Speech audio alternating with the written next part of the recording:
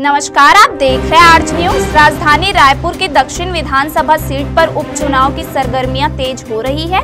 इसी सिलसिले में अब वहाँ कई मज़ेदार तस्वीरें भी देखने को मिल रही है। ऐसा ही कुछ नज़ारा आज कलेक्टोरेट परिसर में दिखा, जहाँ कांग्रेस प्रत्याशी आकाश शर्मा ने मुहूर्त के अनुसार अपना नामांकन पत्र दाखिल किया।